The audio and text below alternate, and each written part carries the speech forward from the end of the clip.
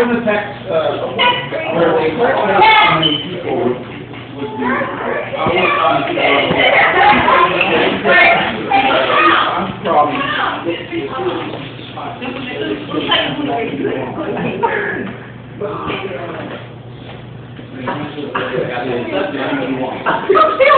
probably.